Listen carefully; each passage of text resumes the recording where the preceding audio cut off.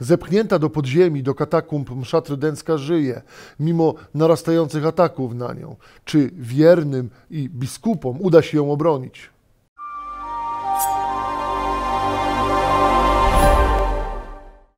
Łukasz Karpiel, program Jaka jest Prawda e, na kanale PCH24 TV.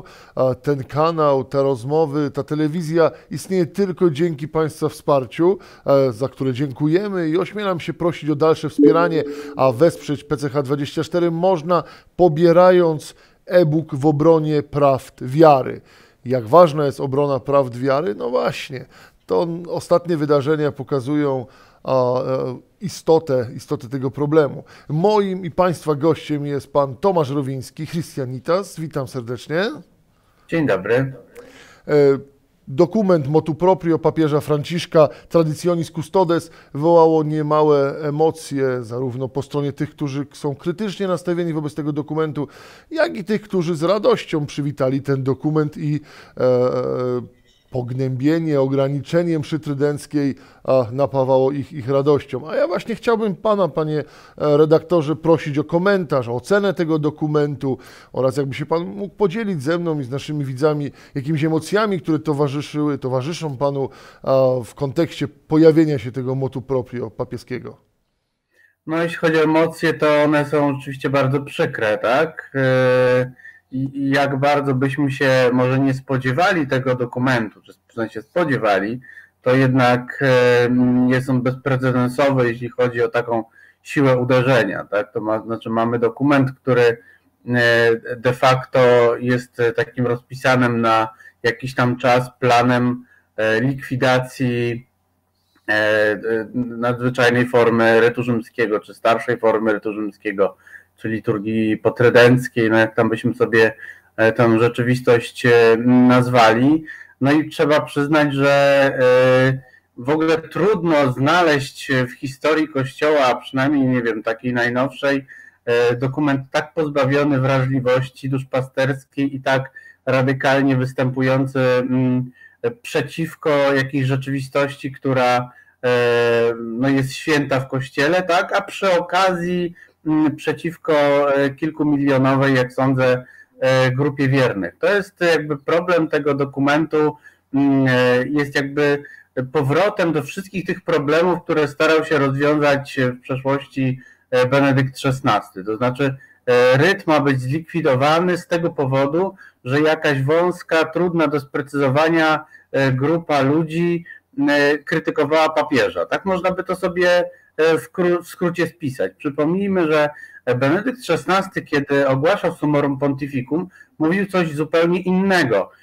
Nie dlatego ta msza ma e, być znowu odprawiana, czy ma mieć wolność w kościele, bo jest jakaś tylko grupa ludzi, która bardzo tego chce, ale dlatego, że ten ryt nigdy nie był zakazany, zawsze był prawowierny i prawomocny, więc ma swoje miejsce w kościele. A to, że są wierni, którzy chcą w nim uczestniczyć, to jest niejako druga e, sprawa, tak? Czyli, że Benedykt XVI powiedział, że to jest pewna obiektywna rzeczywistość w Kościele, która istnieje od e, setek lat, jest wyrazem e, pewnej trwałości rozwoju form liturgicznych w Kościele i ona po prostu ma być. Dzisiaj dowiadujemy się, że to było, że właściwie ta msza to jest coś takiego jak jakieś pobożnościowe obyczaje neokatochumenatu, czy odnowy w Duchu Świętym, czyli to jest taka półprywatna właściwie forma e, pobożności, którą należy skasować, ponieważ e, część ludzi, która w nich uczestniczy, robi problemy. No to jest e, tak też no, kłamliwy niestety dokument, tak, zarówno motu proprio, jak i list, że aż trudno uwierzyć, że to tak łatwo przeszło przez e, papieskie ręce, przez e, no, kongregację, przynajmniej teoretycznie, do spraw kultu Bożego i dyscypliny sakramentów, e, ponieważ tam się bardzo wiele rzeczy, jakby to powiedzieć, nie trzyma kupy i no, można się spodziewać wysypu analiz bardziej szczegółowych w niedługim czasie, jak sądzę, no, które pokazują, że ten dokument ma przedziwny charakter właściwie takiego, takiego, takiej przemocy tak, wobec e, tego, co jest e, święte, pewnej świętej tradycji i wobec ludzi. Bo ja bym chciał, żeby to od razu bardzo wyraźnie wybrzmiało, że ten dokument uderza w tych katolików tradycji, którzy bardzo wiele wysiłku włożyli w to, żeby nawet w trudnych czasach i z powodu trudnych relacji być w jedności z papieżem.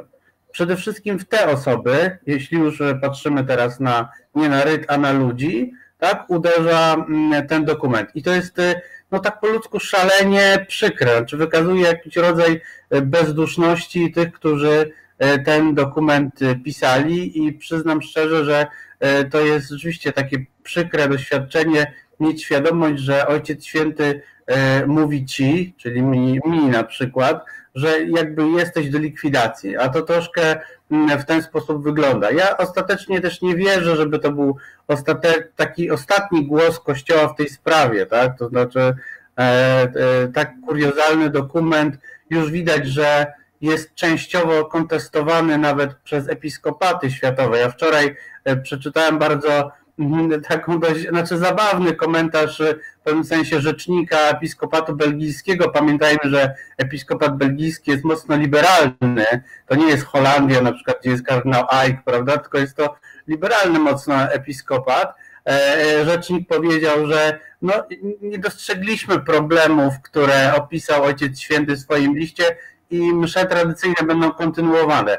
No, czyli taki komentarz w duchu, nie mamy pana płaszcza i co nam pan zrobi. Ja się wcale nie dziwię e, tak, e, takiej, takiej reakcji, bo w czasach, kiedy tyle mm, słyszymy od Ojca Świętego o decentralizacji, nagle dostajemy taki dyktatorski właściwie mm, e, dokument. Ja naprawdę już teraz widzę, że biskupi mają dla wiernych tradycji znacznie więcej serca niż Ojciec Święty i bardzo naprawdę liczę na życzliwość e, biskupów również w Polsce. Już ona w wielu miejscach e, została okazana i mam nadzieję, że zostanie to serce, jakby to powiedzieć, podtrzymane też w dalszej perspektywie. No i po prostu też msza zostanie ochroniona przed tym przedziwnym dokumentem, który posługuje się fałszywymi argumentami.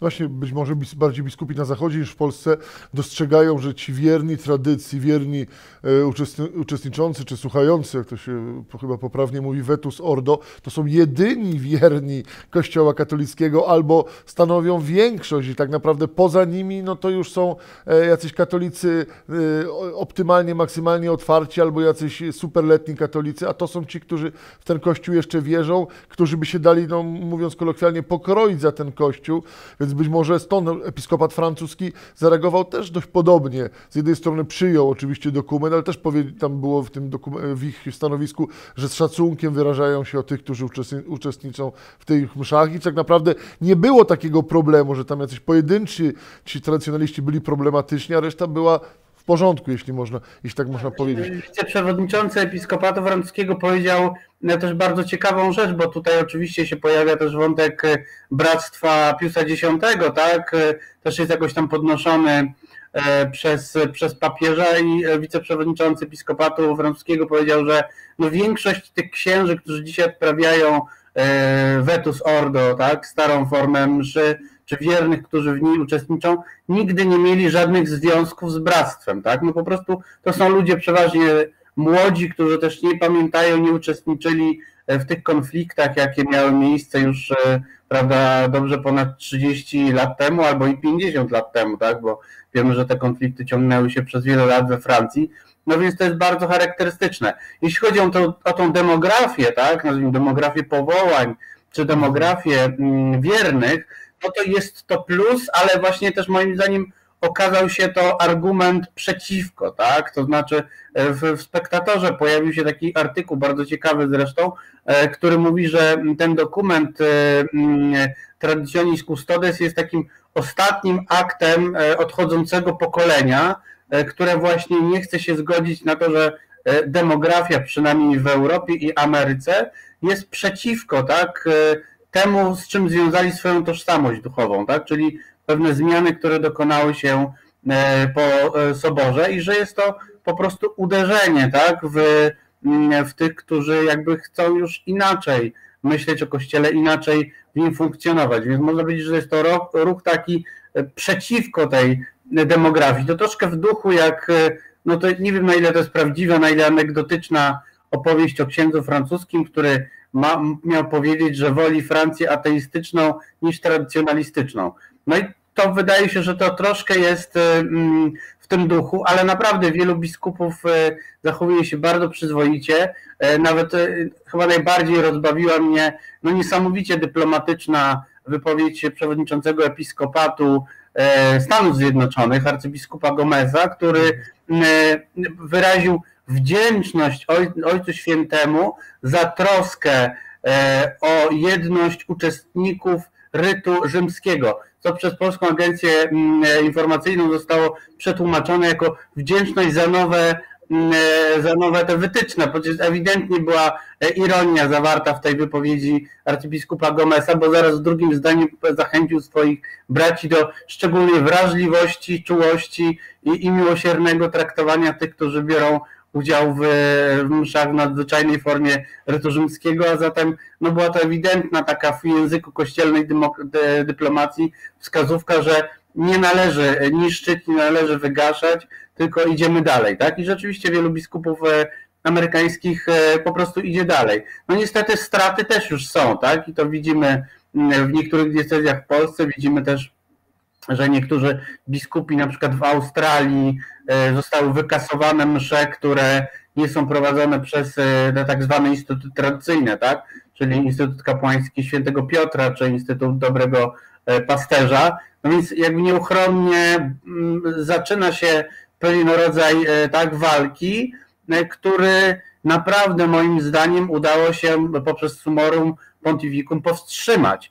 E, bo to jest kolejna kłamliwa teza mm, e, Traditionis Custodes i listu papieża, że Summorum Pontificum nie osiągnęło swoich celów. Jak na 14 lat, to jest w historii Kościoła bardzo krótkim okresem, naprawdę udało się wybudować rodzaj pokoju liturgicznego. Proszę zapytać polskich biskupów, jak wielu z nich dzisiaj ma problemy z grupami, które uczęszczają na Starą Mszę myślę, że bardzo niewielu ma e, z nimi realne problemy. Jeżeli nie są uprzedzeni, e, to grupy tradycjonalistyczne włożyły też sporo wysiłku do tego, żeby w miarę jak to się tylko da, e, być jakby w jedności ze swoimi pasterzami.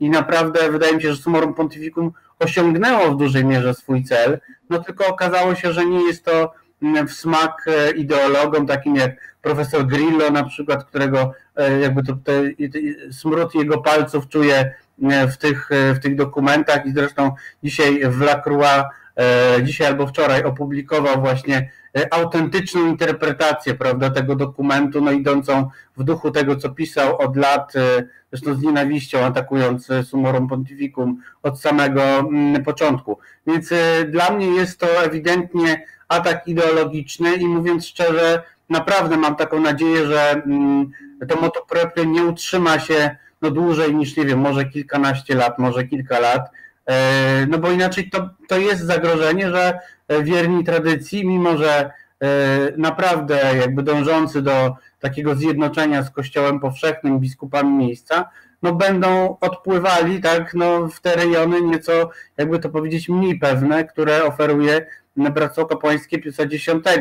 I jeżeli taki jest e, cel dokumentu papieża Franciszka, żeby tradycjonalistów wypchnąć na te takie pozycje marginalne, no to po prostu są to intencje nieczyste i e, tym bardziej źle świadczą o autorach listów. Ponieważ ja podejrzewam, że e, tego, tych tekstów nie napisał sam papież, tylko zostały oczywiście z nim jakoś tam skonsultowane, został do nich przekonany i ktoś te teksty napisał, jak to zwykle w takich e, e, sytuacjach bywa, ale to nie zmienia intencji, nie zmienia jakby sytuacji, że e, to jest naprawdę ten piątek to była taka czarna karta w historii, w historii Kościoła i jakby trzeba się tego trzymać i trzeba o tym przypominać, że jakby sposób przeprowadzenia tego nowego prawa jest na, na, po prostu niesamowicie nieuczciwy.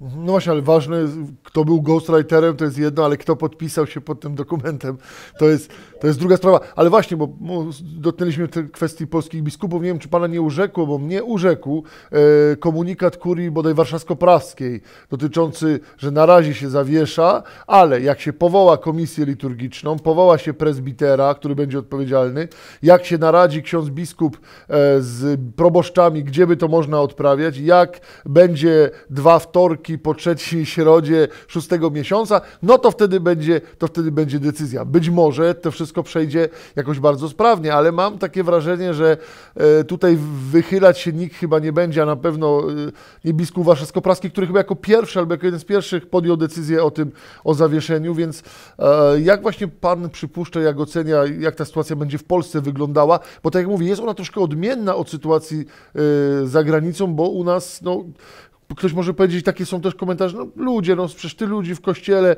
jest msza, no gdzie, gdzie robicie, gdzie, gdzie, gdzie tu jest problem? Dla wielu osób w ogóle, te, jak pojawiła się ta sprawa tego motu proprio, było zaskoczeniem, że istnieją jakieś wspólnoty tradycyjne, jakieś duszpasterstwa, może być, może myśleli, że to jacyś sentymentalne trzy, cztery osoby, jakieś starsze panie, które sobie tam, czy starsi panowie pamiętają, e, organizują sobie takie msze i gdzie, gdzie problem? Więc jak tutaj ta sytuacja w Polsce może wyglądać w kontekście naszych biskupów e, w kontekście wizyty Adlimina we wrześniu, bo wydaje mi się, że to też gdzieś w tle może polskim biskupom dzwonić. No zobaczymy. Ja bym tej sytuacji warszawsko-praskiej na razie nie rozciągał na e, sytuację mm, całej Polski. To znaczy, z tego co wiem, to mm, biskup pomocniczy Jacek Grzybowski jest tam bardzo aktywny w, jakby to powiedzieć, szybkim i radykalnym wprowadzaniu nowego dokumentu, natomiast głosy, które słyszę z innych diecezji, raczej są takie w duchu no tym francuskim, tak? To znaczy, że albo biskupi bardzo szybko, mm, przynajmniej na tym pierwszym etapie, pozwalają na kontynuację celebracji, przedłużają te autoryzacje, nazwijmy to, czy dają te autoryzacje mm, e, kapłanom do tego, żeby dalej odprawiali. Wielu z nich też jakoś słyszę uspokaja wiernych, żeby jakby nie, nie, nie wpadali w jakiś, prawda, taki no, no, złe nastroje, tak, no bo trudno by się, trudno dziwić się, że te nastroje się pojawiają. Także ja mam wrażenie, że naprawdę ta praca, która była wykonana przez ostatnie kilkanaście lat, czy no, no w przypadku niektórych biskupów krócej, ale jakby, że ta praca, która została wykonana, naprawdę owocuje tym, że, te, mm, że widzimy, że są relacje tak, pomiędzy polskimi pasterzami a właśnie grupami, które uczestniczą, e, czy, czy księżmi też, tak, którzy odprawiają mm, starszą formę rytu rzymskiego. Mm, naprawdę liczę na to, że e, zostanie tak jak jest, tak? To znaczy, że tam, gdzie w tej chwili biskupi e, rozumieją potrzeby duszpasterskie swoich wiernych, to dalej będą je rozumieli. Ja bym chciał zwrócić uwagę na taką rzecz, którą napisał e, Peter Kłasniewski, tak, znany e, dosyć teolog, e, który jest związany z ruchem tradycji. On zaraz po ogłoszeniu mm, i chyba jakiejś pierwszej lekturze Traditionis Custodes zwrócił uwagę na 87 kanon kodeksu prawa kanonicznego i pierwszy punkt, który mówi, że właściwie wszelkie mm, te dyscyplinarne ustalenia, e, które nawet idą od najwyższego pasterza w kościele, mogą zostać zawieszone przez biskupa lokalnego ze względów duszpasterskich. To tak naprawdę jest to kanon prawa mm, kanonicznego, który pozwala e, no niejako osłabić, czy wręcz jakby anihilować e, mm, te zasady, które są najbardziej radykalne tak, w, mm, w nowym tym motu proprio papieża, czyli jakby pozwalają postawić opór e, tej rewolucyjno-jakobińskiej tak, logice tekstu, który, e, no, ponieważ nie ma żadnego vacatio legis, to tak naprawdę był próbą w ciągu jednego dnia skasowania wszystkich mszy tradycyjnych na świecie. Tak?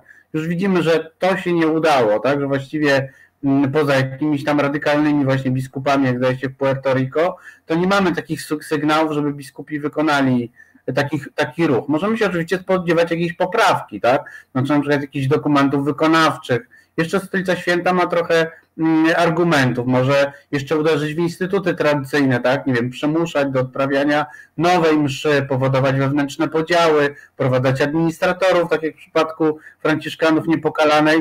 No ale jakby powiedzmy, że to jest troszkę inny wątek. Natomiast chciałem podkreślić zdecydowanie, że naprawdę biskupi ordynariusze w kościołach partykularnych mają argumenty prawne do tego, żeby chronić swoich wiernych przed tym atakiem. No bo jest to ewidentnie no, atak na, na miliony wiernych. Znaczy inaczej tego się nie da potraktować i ja bardzo wierzę w to, że biskupi również w Polsce kochają po prostu swoich wiernych, niezależnie w jakim rodzaju duchowości ci wierni uczestniczą. Tak? No jest to pobożność katolicka, jest to pobożność starożytna, jest to pobożność, która naprawdę e, ludzi skłania do miłości do Kościoła. No i no, no nie można tak w ludzi strzelać. Ja uważam, że to że, że tutaj naprawdę e, biskupi mogą, mogą zapisać złotą e, kartę w dziejach Kościoła, tak? Znaczy taką ważną kartę, która też będzie mocnym punktem do dalszej refleksji o roli papiestwa mm, w Kościele w czasach, kiedy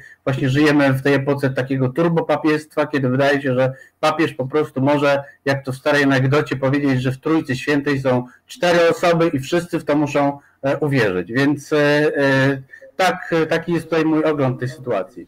Mhm. No właśnie, ale tutaj Pan e, mówił o tej takiej, o tym języku tego dokumentu, języku też tego listu papieskiego. Ja tu chciałem zwrócić uwagę, że tam jest strasznie ta jedność, jednolitość podkre, podkreślana. I w ogóle e, o, to często się, wydaje się, z jednej strony mówi się o dialogu, e, nie wiem, o rycie amazońskim, o wychodzeniu na, na wychodzeniu za jakąś granicę, o zapachu owiec i tak dalej, i tak dalej, a właśnie msza trydencka, jak gdyby można powiedzieć, tam taka gwiazdka, nie dotyczy nie dotyczy tradycjonalistów. To wszystko dotyczy niemieckich biskupów, e, amerykańskich jakichś katolików e, liberalnych i tak dalej. Nie dotyczy tradycjonalistów. Ale widać wyraźnie było, że coś wisi w powietrzu. Przecież pan doskonale pamięta o ograniczeniach w sprawowaniu wetu zordo e, w Bazylice Świętego Piotra, które były, poprzedziły no, trochę, kilka, kilka, tygodni, kilka tygodni temu. I tu już wtedy mówiono o tym, że jakieś czynności wobec e, tych tradycjonalistów, jakieś dokumenty się szykują. A pytam dlaczego? Bo jeżeli byłoby tak, jak Pan mówi, co jest dość ciekawym i chyba do, dobrym rozwiązaniem, że to biskupi blokowaliby e, e, takie radykalne wprowadzenie e, zapisów tradycyjnych custodes, no ale czyli można się wtedy spodziewać takiego hm, kontrataku, bo przecież po coś ten dokument powstał, po coś się kiedyś ograniczyło sprawowanie mszy trydenckiej w Bazylice Świętego Piotra, po coś jest ten dokument, po coś się chce wypchnąć tradycjonalistów z kościołów parafialnych, żeby teraz powiedzieć, no dobrze, no to skoro biskupi tego nie chcą, to, to ja tutaj nie, nic, nic nie będę w tym kierunku robił. Czy nie spodziewa się Pan takiej sytuacji, jakiegoś kontrataku? Nie, no właśnie tak jak powiedziałem, że jeszcze może na przykład się pojawić taki dokument, y, jaki pojawił się po Summorum Pontificum, tak? Czyli mieliśmy Uniwersytet Eklezję, który de facto był takim listem, który rozstrzygał różne wątpliwości. Czyli tam po dwóch czy trzech latach, ja dokładnie nie pamiętam, w którym roku się, chyba w 2010 roku się pojawił Uniwersytet Eklezję, tak? Które Y, jakby było wyjściem naprzeciw wątpliwości, które pojawiły się w pierwszych latach y, implementacji Summorum Pontificum. No tutaj też możemy mieć taką sytuację, to znaczy, że najbardziej tam waleczne, prawda, skrzydło mm, y, wrogów starej liturgii, które szepcze papieżowi różne rzeczy do ucha, zobaczy, że to na przykład nie do końca zadziałało tak, jak się spodziewali i wydadzą dodatkowy dokument, który będzie dociskał śrubę. Jak najbardziej możemy się Mm, takiej sytuacji spodziewać. Nie wiem, czy to będzie szybko, czy to będzie długo, ale ja chciałbym też zwrócić uwagę na to, że mm, naprawdę e, moim zdaniem ten dokument nie cieszy się entuzjazmem Światowego Episkopatu, tak? Nie wiemy też, co tak naprawdę myślą kardynałowie. Moim zdaniem ten rachunek cierpienia, jaki wiąże się z pontyfikatem papieża Franciszka, rośnie coraz bardziej bo to jest tylko jakby kolejny element tego cierpienia. Różni ludzie w kościele e, doświadczyli krzywdy ze strony mm, e, papieża, tak, również duchowni, najwyżsi duchowni, e, i że jest w pewnym sensie szansa, że mm, dojdzie do pewnego rodzaju odwilży, tak, po, po tym pontyfikacie mm, i że będzie można wiele rzeczy, jakby to powiedzieć, odpracować, odratować, na przykład chociażby w duchu Jana Pawła II, prawda? Czy to dotyczy mm, moralności, antropologii katolickiej, ale także liturgii, bo pamiętajmy, że jednak to oczywiście kardynał Ratzinger, ale za pontyfikatu Jana Pawła II zaczął odmrażać tak, staroliturgię. Właśnie powiedział, że nie można zakazać tej liturgii. Więc mi się wydaje, że no, no, właśnie, bo list papieża na przykład w ogóle ignoruje to, że w ogóle ignoruje istnienie tej liturgii. Mówi, że jest tylko jeden wyraz rytu rzymskiego, którym jest tak zwana nowa msza, czyli że i, I, wy, pozwala... i, I wydaje się, że to jest punkt docelowy, tak naprawdę, że mamy to jest to. Jeszcze jest jakiś taki mały karnawał, że za zgodą tą mszę trydencką gdzieś tam można odprawiać, ale to jest, wiecie, tylko chwilowe. Ale co my odprawiamy? Skoro już tylko, skoro teraz już teraz wedle tego dokumentu jest tylko jeden wyraz rytu rzymskiego, to co my teraz odprawiamy? Na co jest ta czasowa zgoda? Znaczy ten dokument jest absolutnym takim aktem właśnie wrogości, tak? To, to jest i on, to nie chodzi o to, bo oczywiście można, można bronić tego dokumentu w ten sposób, że e, mm, tak jak ja wskazuję naszym biskupom, że prawo kanoniczne daje im w pewnym sensie władzę nad tym dokumentem, tak można bronić papieża, że oczywiście papież ma prawo do pewnych zarządzeń dyscyplinarnych ale tutaj e, ten dokument jakby wprowadza zamieszanie na poziomie, który jest w zasadzie doktrynalny, tak? Znaczy Kościół orzekł, że nowa msza nie jest czymś, co zastąpiło starą mszę, tylko że promulgowano nowy ryt, y, jakby nową formę w rycie rzymskim, tak? A stara forma rytu rzymskiego nie przestała istnieć i zresztą nie przestała istnieć realnie. Była odprawiana cały czas, tak, bardzo może wąskim gdzieś tam zakresie, nie wiem, we francuskich wspólnotach e, benedyktyńskich, tak, w bractwie, tak na pół legalnie, jakby to powiedzieć, tak, ale była. Czyli, że jakby tak się historia ułożyła przy wszystkich tych konfliktach i trudnościach, że mamy dwie formy rytu rzymskiego. I teraz e, e, ma nastąpić taka, takie siłowe scalenie tego, przy czym, no nie wiem, my znaczy, że bierzemy udział w jakimś, e, no nie wiadomo w czym bierzemy udział, jak bierzemy udział w tej e, starej formie. Czy to jest oczywiście e, wprowadzenie jakiegoś takiego mm, absurdu, jakby, że Kościół sam zaprzecza sobie na przestrzeni kilkunastu lat. No to są rzeczy, które jakby no muszą być w którymś momencie wyprostowane. To, się, to nie da się, żeby to mm, funkcjonowało mm, tak jakby no, jakąś nieskończoność, nazwijmy, aż do skutecznego wygaszenia e, starego rytu. E, moim zdaniem to jest naprawdę radykalnie skrajne stanowisko, którego nie wyznają nawet, nazwijmy to, liberałowie katolicy w kościele. Nawet Tygodnik Powszechny był zadziwiony. No, e, w więzi powstał też bardzo ciekawy tekst Kamila Jóźwiaka, który no właśnie jakby wydobywa całą, nazwijmy to, cały, mm, cały ten program papieża Franciszka, i pokazuje, że no on dotyczy wszystkich, dialog, czułość, decentralizacja, tylko nie tradycjonalistów, tak? No jakby pokazuje, pokazuje bardzo zresztą sensownie jakby wszystkie negatywne skutki, takie nawet na poziomie e, socjologii Kościoła, e, tego, tego dokumentu. Więc naprawdę jakby ten dokument nie ma przyjaciół, tak?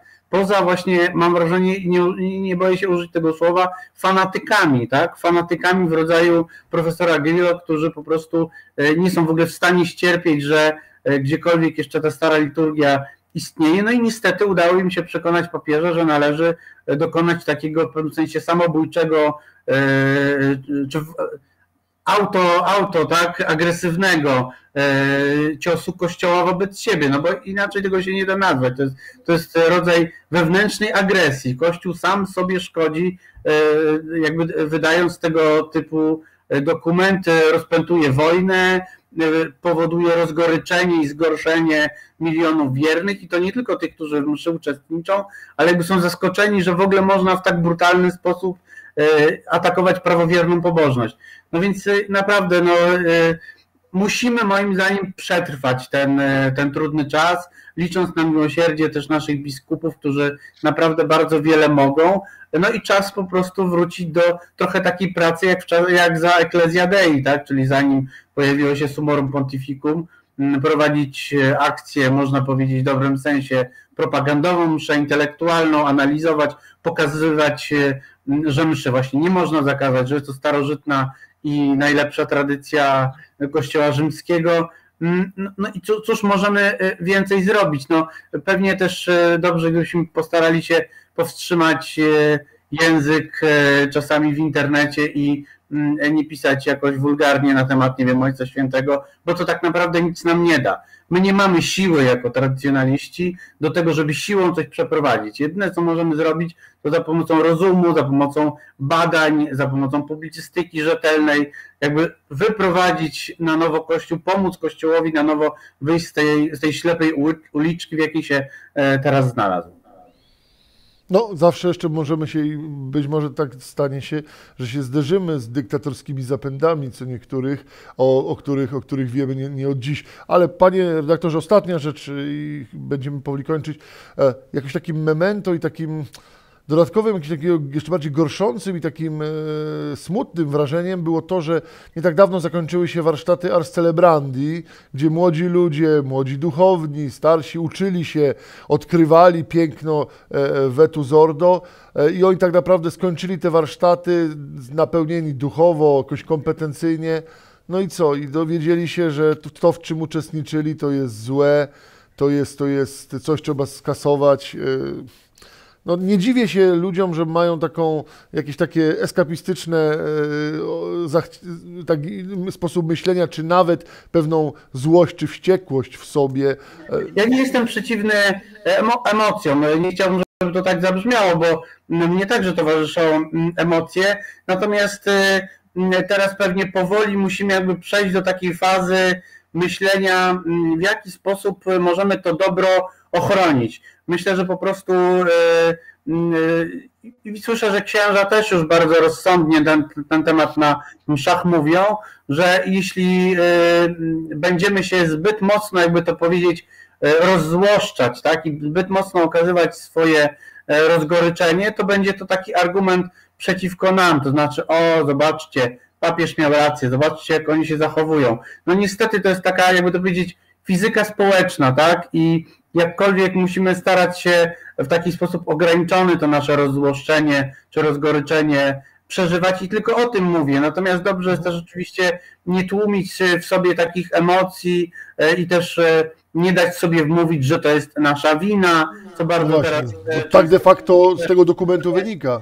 To jest naprawdę trochę, to jest trochę jak w tych narracjach przemocowych, tak? To znaczy, bo zupa była zasłona bo wyglądała zbyt atrakcyjnie, tak, e, w stosunku do kobiet, tak, takie mieliśmy, znana była taka akcja antyprzemocowa. No to mniej więcej tak to działa, zaraz księża, różni duszpasterze piszą, no, no, no właśnie jesteście sobie winni, to przez was się stało. Nie, dlatego że czy ktoś się zastanawia, jak wiele jest e, nadużyć i w ogóle jakichś e, aberracyjnych zachowań wiernych i kapłanów w czasie odprawienia nowej mszy, a nikim tej mszy nie zakazuje, bo po prostu uznaje się prawowierny rys za powszechne prawo Kościoła, niezależnie od tego, jak wierni księża się na jakichś tam poszczególnych celebracjach zachowują. I tu jest dokładnie ta sama sytuacja. Ale nie, Benedykt XVI rozdzielił, sprawy, jakby to powiedzieć, grup od y, uniwersalności rytu, a papież Franciszek znowu to połączył. To znaczy, że to jest jakaś prywatna rozrywka grupy sentymentalistów. No i to jest, no powiedzmy, rodzaj no, takiego zakłamania, tak? No niestety my się musimy w tej sytuacji odnaleźć i starać się jak największą dojrzałość okazać, uczestniczyć w mszach i jakby stanąć w niej obronie w taki sposób, żeby nas nie można było dezawuować. Dezawuować na podstawie odbierania godności. O, emocjonują się. No właśnie, to są tacy ludzie, którzy się tylko emocjonują, nie mają nic do powiedzenia. No niestety e, to jest bardzo duże wymaganie w tej chwili od nas e, związanych e, z tradycją łacińską, żeby w dobry sposób przetrwać ten czas i postawić jakiegoś rodzaju taki opór duchowy, tak? Nie taką tylko przemoc słowną czy pyskówka, ale duchowy opór temu złu, jakie się stało. Co daj Boże, co daj Boże, aby się udało. E, bardzo serdecznie dziękuję za rozmowę. Moim i Państwa gościem był Pan Tomasz Rowiński, znany z e, Christianitas, ale i z portalu PCH24, bo wielokrotnie Pana Tomasza gościliśmy za każde słowo. Bardzo serdecznie komentarza dziękuję. To był program Jaka jest prawda PCH24 TV. Dziękujemy za wsparcie. Przypominam o możliwości wsparcia i pobrania e-booka w obronie praw wiary. Raz jeszcze dziękuję serdecznie. Kłaniam dziękuję. się z Panem Bogiem.